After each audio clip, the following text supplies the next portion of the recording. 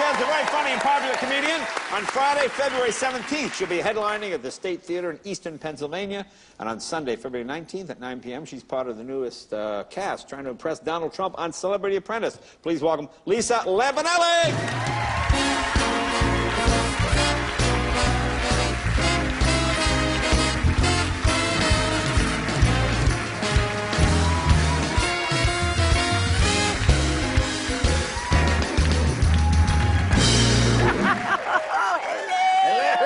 Great. How you doing? Oh, Chris Pine is so into me. Really? Wow.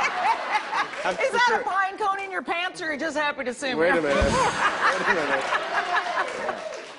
So you, Oh, you my have God. not met before? No, I have not. I'm very impressed. Thank you Your very father being the guy from Chips. Did you like him? I did. He's a handsome man. Tell me your mom was Mrs. Roper. I'll bang you right here. Wow. Holler.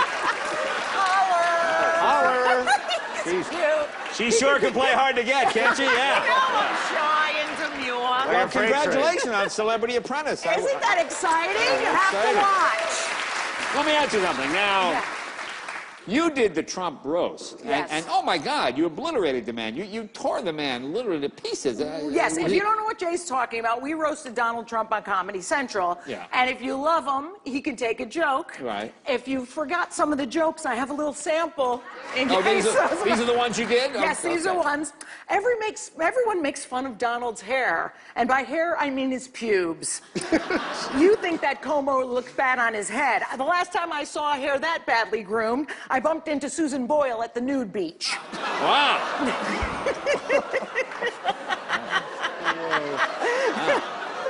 There you go. That's right. I'll take one another more? one. Go ahead. Ah, still no one can argue that he has made Trump more than just a name. He's made it a brand. A brand like Massengill. Because he's a bloated, stinky douche. Thank Wow, you. that's a wow. That's a wow. You'd like that Yeah, one. very, yeah, very nice, very nice. Now, now, yes, I call you the queen of mean. I can't imagine why. But Yes, are, I do. Are, you mean on the show? How are you with the other contestants? Listen, Yeah? let me tell you, they were all on my nerves. Yeah. First of all, it's a very difficult show. You work harder than Oprah Winfrey spanks. It's really tough. Wow. Yes. And also, I'm going through menopause at the same time I'm doing this apprentice. Right, It's very difficult. Yeah, yeah. I'm more irritable than Larry King's bowels. Wow. Yes. It's very hard. And like there were some cast members you just don't get along with. That's how it is. You Yeah. can't be friends with everybody. Well, these are the cast members. Now, here's Victoria Gotti. oh my God, I thought that was Dee Snider. Wow. Okay. Wow. My goodness. Now, she, of course, is, is the daughter of John Gotti, the famous. Uh, I know. I was a little bit scared. businessman. Uh, yes, he was a businessman. but A little scared of her. Yeah. And by the way, she's already going around saying I'm evil. Do I look evil to you? No. no. Victoria Gotti calling me evil. That's like Andy Dick telling me I have a substance abuse problem. Are you kidding me? All right, let's see. Now, here, funny you should mention Dee Snider. What was he like? He was fantastic. Yes? Let me tell you, he would put on that wig from the 80s, and that makeup looked just like this one. It was terrific. It was great. And this is, uh, Separated at birth. oh, Debbie Gibson. Is she still singing? Oh, I love Debbie. Now, I heard you know some things about Debbie Gibson. You've worked with her. She's a terrific gal, Mm-hmm. but the broad cannot stop singing. She sings her answers. I'm like, honey, it's as if the dwarf and uh, Christina Aguilera are fighting to put her on the team. Yeah, you know what I'm yeah, saying?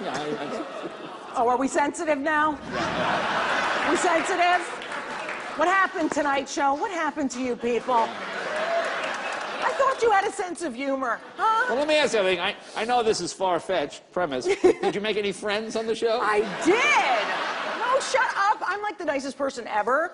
Yeah. And I made friends with one of the girls. Yes. She and I got along so good. Mm-hmm. Clay Aiken, we had so much fun. Wow. We did. Did. It was a real bonding thing Yeah, yeah. because, you know, Yeah, so much in common. Yes, well, he has claymates. I have chlamydia. Right, and you know what else?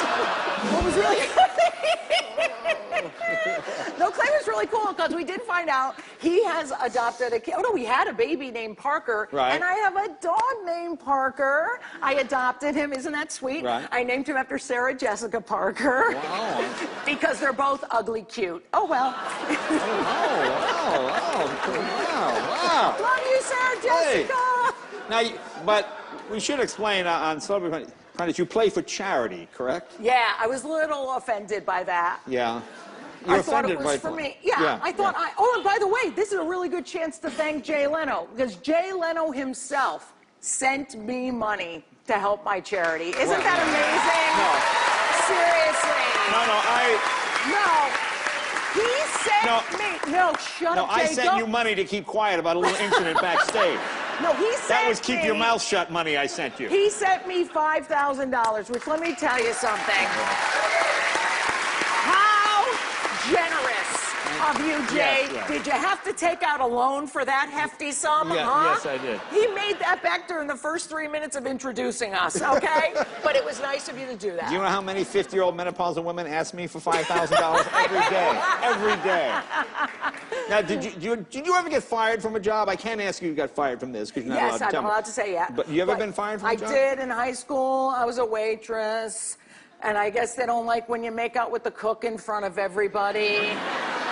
And you call women the C word on the golf course. They don't like ah. that in Greenwich, Connecticut. Now, why are you making out with the chef? For the Why free meal? not? I don't. Exactly. Come on, I gotta eat too. Come on, I'm a. Please. I gained weight in that apprentice. Oh my God, I am a five o'clock shadow away from being Chaz Bono. Wow. I cannot take it. now, we, now we have a clip with you and some of the girl. This is the girl team? Is Yes, that what we're going to yes, see yes. here? Okay, let, well, set up this clip. Does it need a setup? Who's, who's in it? I have no idea. I didn't see the clip. Oh, okay. All I'm right. very excited. Okay, let's take a look. Wait, wait, everybody's doing everything outside. Did anybody stop to think who's making these sandwiches inside? Victoria Gotti, I will not screw with in the least, and I think you know why. No horse's head in my bed. I don't care if she doesn't show up for work. She's getting an A plus from me. So let's come up with how many sandwiches? It'd be nice to have three super recognizable people. Yeah, who's the most recognizable face here? Teresa. Teresa's one. Yes. Then I mean Cheryl Tiegs is a freaking supermodel. So how about something that uh, Teresa's could be very Italian, and hers could be more sort of diet conscious. Sunday, February 19th at 9 o'clock, right here on NBC, Celebrity Apprentice. We right back with Anthony Hamilton right after this.